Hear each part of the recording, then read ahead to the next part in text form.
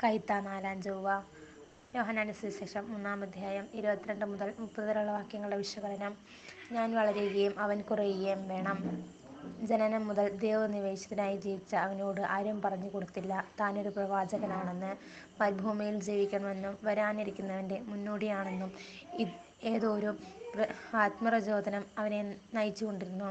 നാനൂറ് വർഷത്തിന് ശേഷം ഉദയം ചെയ്തവനും ഏറ്റവും അവസാനത്തവനുമായവൻ ആയ ഈ പ്രവാചകൻ ലോകത്തിൽ ഉദയം ചെയ്ത എല്ലാ പ്രവാചകന്മാരെ മാരുടെയും ശക്തി ഒരുമിച്ച് വർഷിച്ചു തന്ന പോലെയുള്ള ഒരു ജീവിതമാണ് കാഴ്ചവെച്ചത്. സ്ത്രീയിൽ നിന്നും ജനിച്ചവരിൽ യോഹനാനേക്കാൾ വലിയവരായി ആരുമില്ല.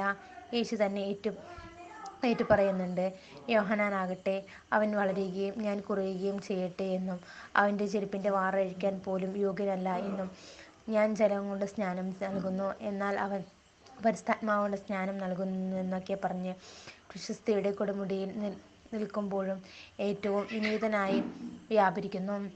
ആരെയും ഭയപ്പെടാതെ തന്നെ ഫലമേൽപ്പിച്ചിരിക്കുന്ന പ്രവാചകത്വം ഫരീസയരോടും പടയാളികളോടും രാജാവിനോടും പോലും മുഖം നോട്ടമില്ലാതെ തിരി വിളിച്ചു പറഞ്ഞ് ദേവസ്വരത്തിന് വേണ്ടി സ്വന്തം ജീവൻ ബലി കൊടുക്കാൻ പോലും അവൻ തയ്യാറാകുന്നു. സത്യത്തിനും ധർമ്മത്തിനും വേണ്ടി നീതിക്കും വേണ്ടി ശബ്ദമുയർത്തുവാൻ ചങ്കൂറ്റമുള്ള ദേവദാസരെ ഇന്നും ലോകത്തിന്